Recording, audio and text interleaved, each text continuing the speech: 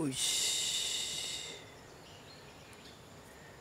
こんにちは。えーと昨日の夜に引き続き今日は昼間、えー、今日は昼間ですね。昨日の夜はあでも自分の見返してないんだけどえっ、ー、とカメラ違うあのな何？あのスマホのさ前の方のカメラ後ろのカメラあるじゃん。どっちが前だか後ろだか分かんないけどあの液晶が自分で見れない方のカメラでやって、えー、ちゃんと映ってたかどうか確認もせず、えー、なんか燃え尽きてたっていうかまあまあ帰って寝よう明日いず明日もあるしみたいなそんな感じだったんですけれど、え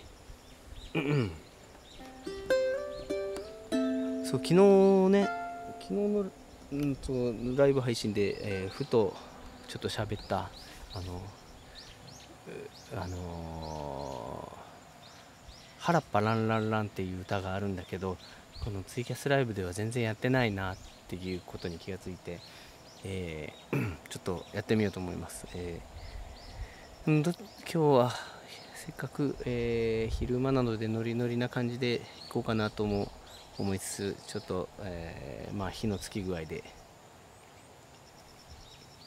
やってみようと思います。そうだよね。声も治っ声っていうか咳も治ったんだよね。よいしょ。ええ。ー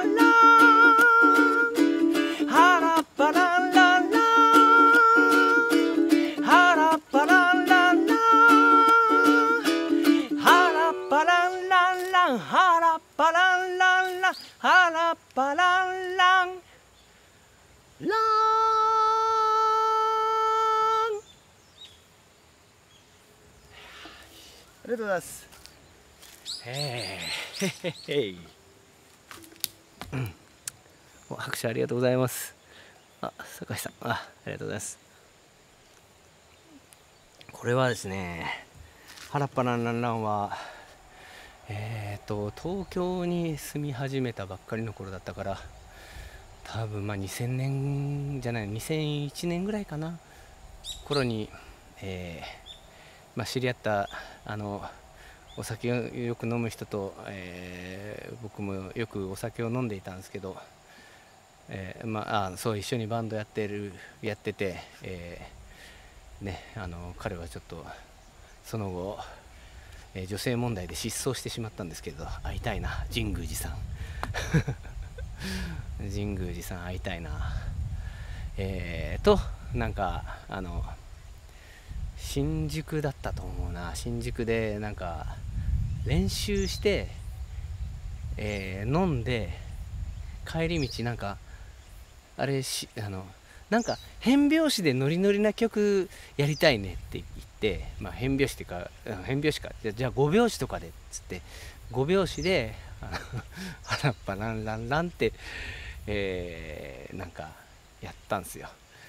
まあ、気持ちばっかりで二十歳そこらの僕はその5拍子を乗り切ることができなかったんですけどまあウクレレをその頃ウクレレ弾いてなかったと思うなウクレレ弾く前で、えー、まだ身体的に5拍子を あのノリノリで乗りこなすことができなかったんですけど今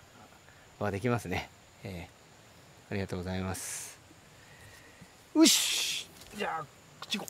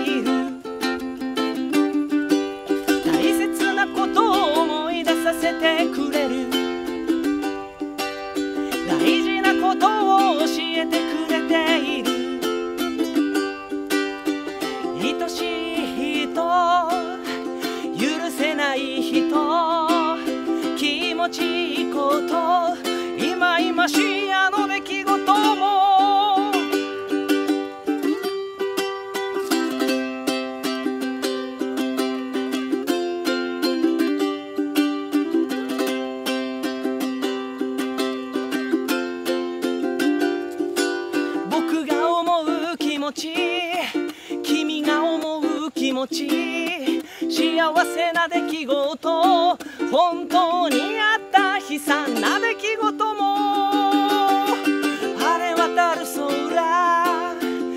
降りしきる雨朝も昼も夜も春も夏も秋も冬も大切なことを思い出させてくれる。ことを教えてくれている。大切なことを思い出させてくれる大事なことを教えてくれている。嫌われて嫌って憧れて裏切られて逃げて逃げられて追いかけられて追いかけて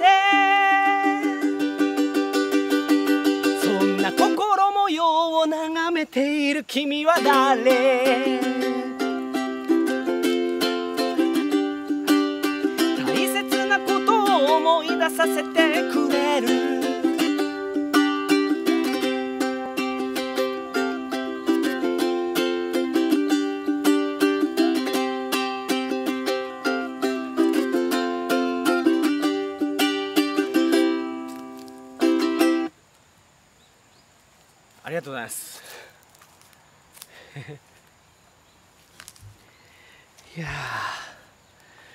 暑い、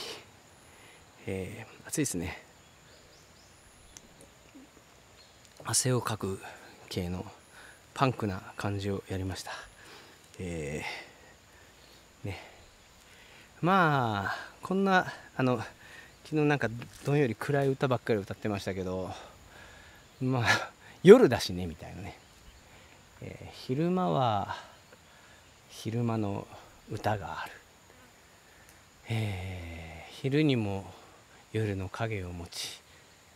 夜にも昼間の光を持つ、うん、よくわからないこと言ってますが、はい。えー、何やろうかな。ああさっきそういえばなんかえっ、ー、とちょっと荷物を取りにテクテク戻った時に、思ったんだけどなんかなんかねあのヨーロッパにポーランドにいるのかな？友達が日本人でポーランド人と結婚した友達が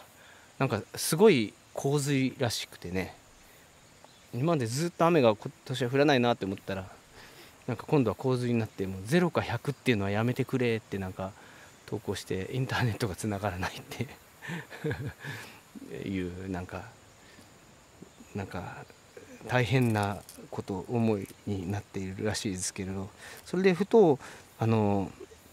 まあねあの今やっぱ温暖化信じてなかったけどやっぱ暑いよねっていうのとまあ、じゃあこの温暖化が本当だったら、まあ、20年ぐらい前に、まあ、今ぐらい？2025年とかそこら辺があのなんかティッピングポイントだっけなんかそこもう歯止めが効かなくなるそれまでになんとかしないといけないよってなんか言ってたことが本当だとしたらもう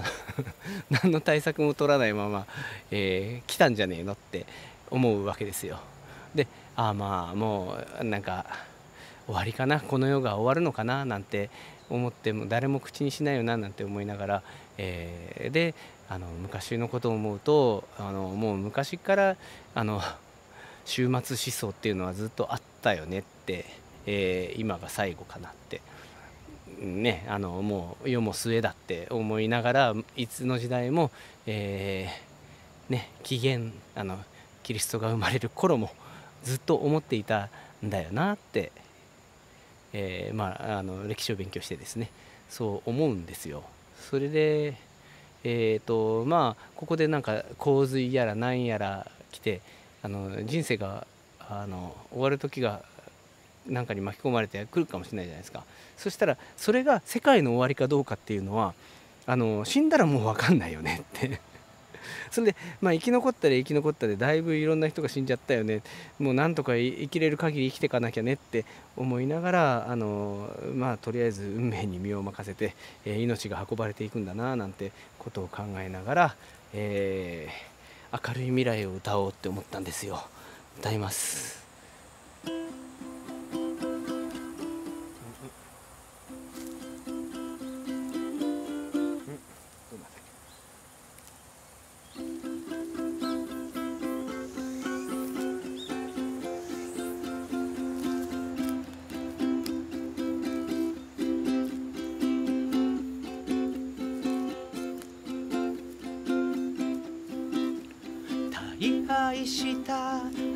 廃屋が森に帰る頃古き良き時代も思い出せなくなって人々は今を生きる目が輝いている。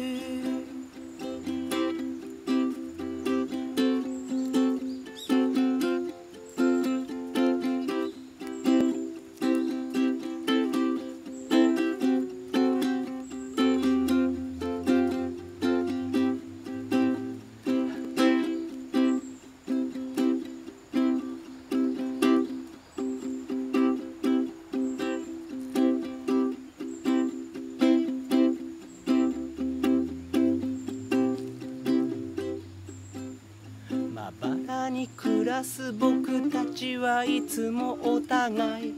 思い合ってる。いつでもいつも何をしていても思い。通じ合ってるよ。人々は今を生きる。目が輝いている。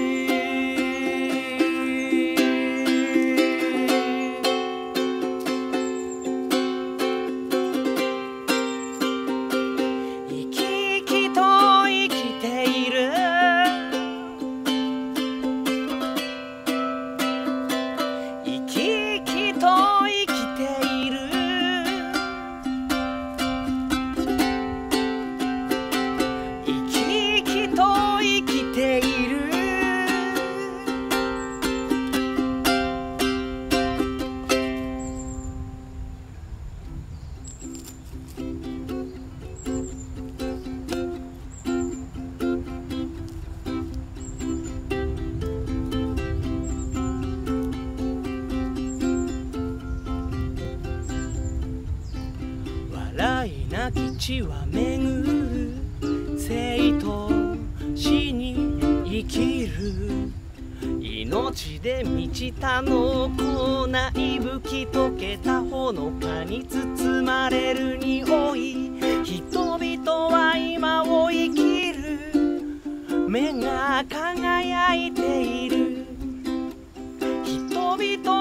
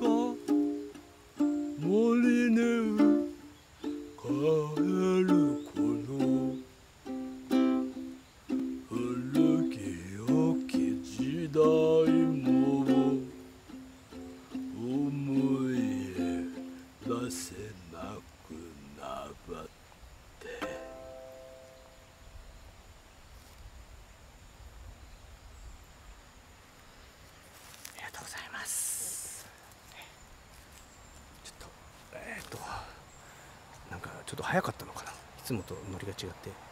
歌詞がすっ飛んじゃいました。歌うと蘇る。歌うとえーねなんか昔即興で歌が歌えるようになりたいなって思ってちょっとねあのラップラップとかの人ってすげえなって思ってラップってあんまラップを歌う人ってあんまり好きな人好きな人はいないんだよね。てかあんま聞かない。なんかねえー俺たくさん言葉吐いてどんどん出てくるどんどん出てくるっていうなんか言葉数多く多すぎて入ってこないというねあの僕の中で あってそこを解消したような僕は即興で歌が歌えるようになりたいなって思ったのがまあ、まあ、2320年ぐらい前かな。で、えーそれでまあなんかあのなだからフリージャズ的な感じとかねなんかそういう感じで歌を歌うみたいなあのーそういうことをしと挑戦したんですけどなんかいろいろとねあのまあ向き不向きがあるということが分かったんですよ。もともと口が達者じゃない僕が、えーそんなあの次から次へと言葉が出てくるような人になれるのかっつったら、なれるはずもないしなる気もないしあんま好きそういう人間になりたいわけじゃない。もう言葉むしろあのねえー、とことの端っこことはこと葉を、えー紡いでそれをいいところに行ったところでそれをねあの紡いでそれをあの書き留めておくとそこにいつも行けるよねっていうそういうなんか即興みたいなことも楽しむのはいいんだけれどってまあ歌う気にはならないですね即興で。というふうになりました。あそんなこともない風の音楽家とかでねピアノの重松さんがいいいい音を出して物語が出てくると。だから即興は即興でやりますって言って即興するのっておかしいと思うんですよ。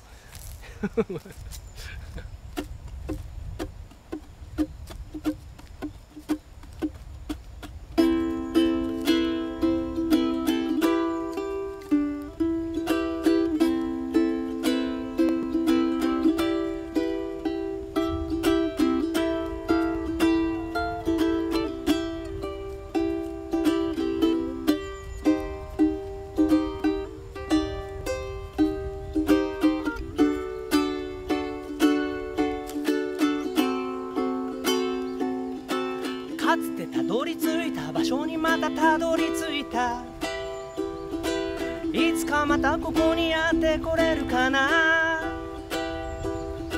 あなたは変わらずにずっとそこにいたんだね。私はかつてよりずっと年をとってまたここで会おう。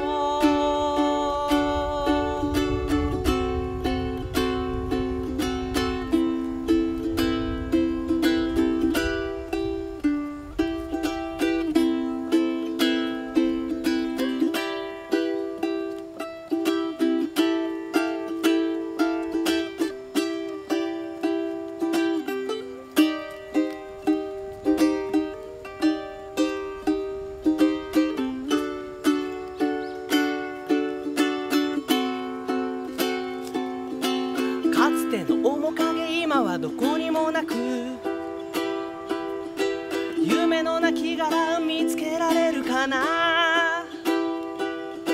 あなたは変わらずにずっとそこにいて新しい命を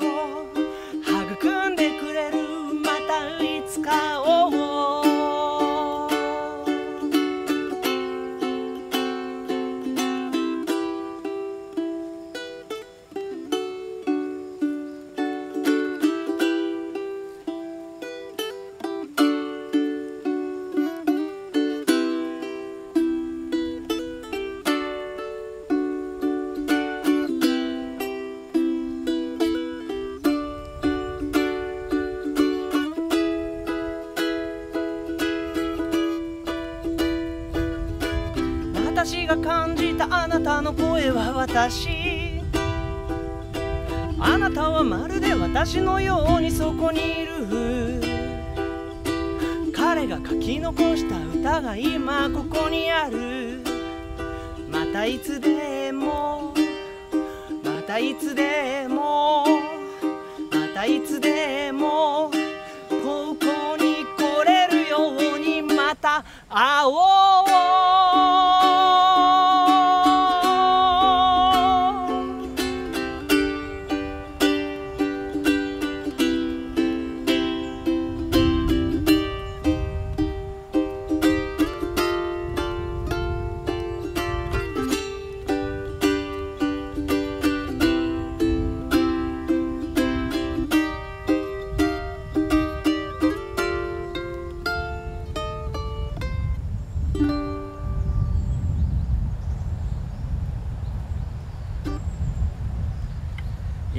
いてきました。ありがとうございます。ああ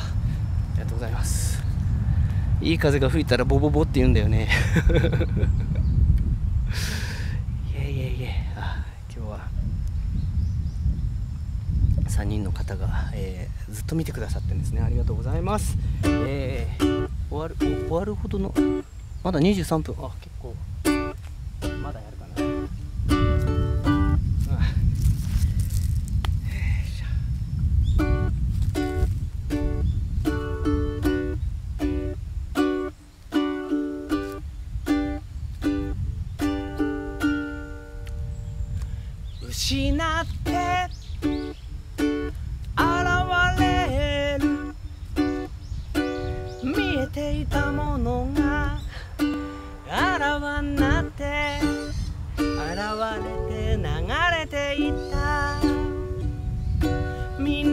育ったように何にもなかったように。ある。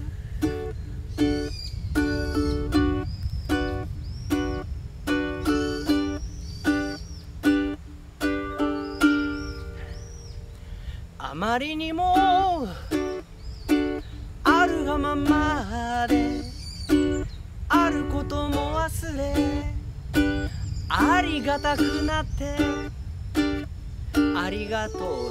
言ってみる。みんな夢だったように。何にもなかったように。ああ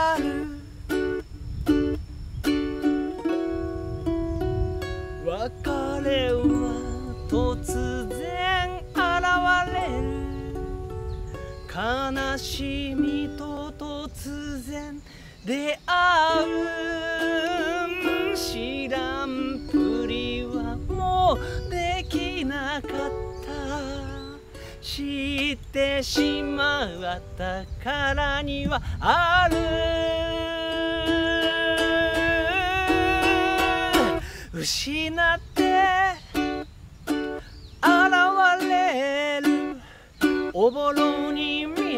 たものがあらわになって浮かんで現れて流れて消えた。みんな嘘だったように何にもなかったようにみんな夢だったように何にもなかったように。あ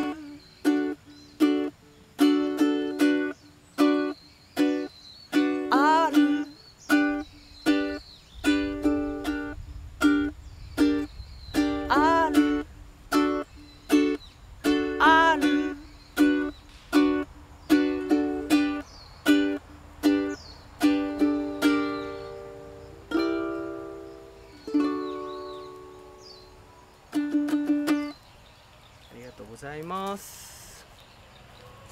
はい、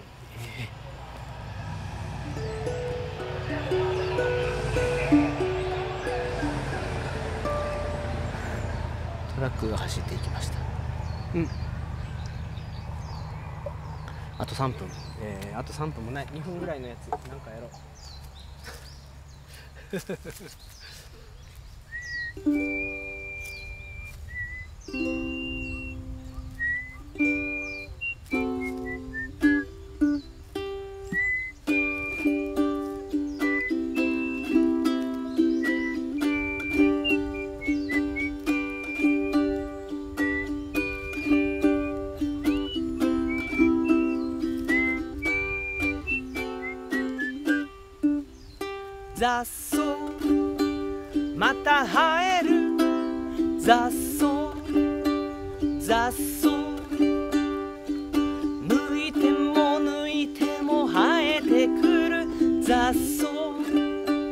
雑草地味猛量やおよろず至るところから雑草雑草ああはにょきにょきにょん。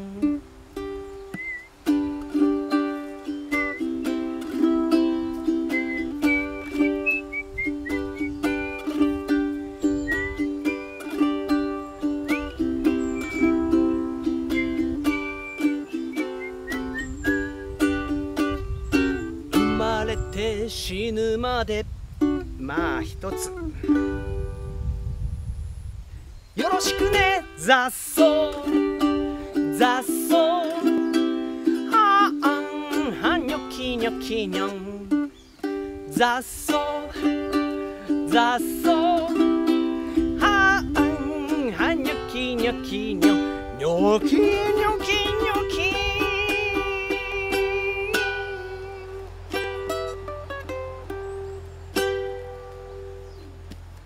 ありがとうございました。雑草。雑草。ニョキニョキニョ歌っててこれいろいろ雑念とかそういうのもあの全部含めて、えーこういう感じでよろしくねって生きてきゃいいんじゃないかななんて思いました。あまあそんな感じで、えーあまた次来週来週どっかでまた時間を見つけてやろうと思います、えー音楽していきたいね、えーえーうん、今普段は大分の耶馬家ってところの、え山の中住んで